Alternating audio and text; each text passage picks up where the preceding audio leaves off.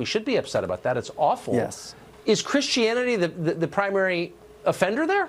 Or I'm pretty close? sure. Uh, no, it's not close at all. I'm pretty sure there's another Oh, large not. world religion that uh, Oh, is there pretty is. much known for it. But yeah. could you say that? Mm, I don't know if I'm allowed to even say the name of it without getting uh, harassed by the FL, Oh. uh, SPLC and God knows who else. You're absolutely right to uh, to acknowledge uh, Hallquist's transgender privilege. She can get away with many, many things simply by being transgender. I mean, who knows if that's even how uh, she she won this this uh, primary. But uh, while the entire country is fixated on the fact that she's transgender, nobody knows anything about her policies. In fact, all we can think of, I all we know.